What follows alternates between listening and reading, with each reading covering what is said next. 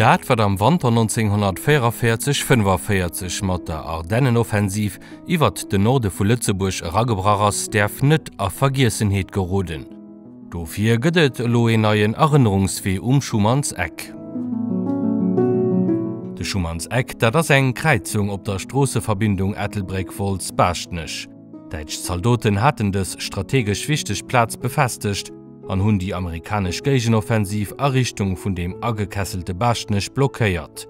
4000 Zaldoten op beide Seite sinn ha an engem schreckliche Stellungskrich gefall.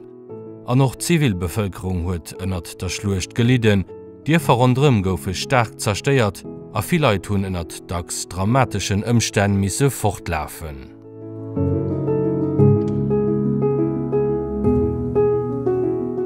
Den neuen Erinnerungsweh baut op een innovativ Konzept fir Geschicht ze erzielen.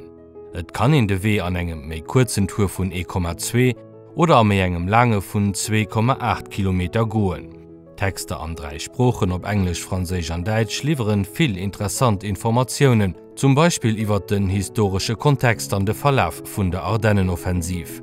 Eg Offensiv de joe lächten Deitsche Versuch war, eng näherler am Westen dach nach ofzuwenden.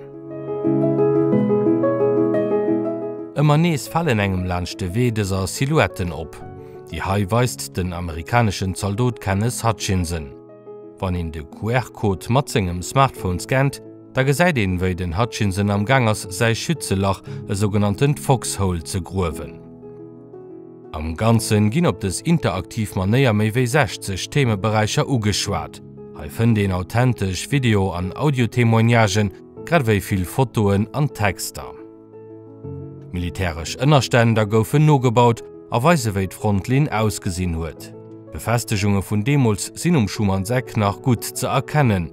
Foxhol se bëssen iwwerall lchte weh oder die Al Quarzitkarrieren aus dem 19. Jahrhundert. No der Ardennenoffensiv waren 32.000 Zaldoten op beide Seiten dot, an 53.000 goufe vermisst. 3800 Ziviliste waren an der Welsch an zu Lützeburg ëmtliewe kom. Den Erinnerungsweh ass dofir hinnen ze gedenken, an es steht ganz am Zesche vun der Rekonciliatioun an dem Völkerverständnis an Europa.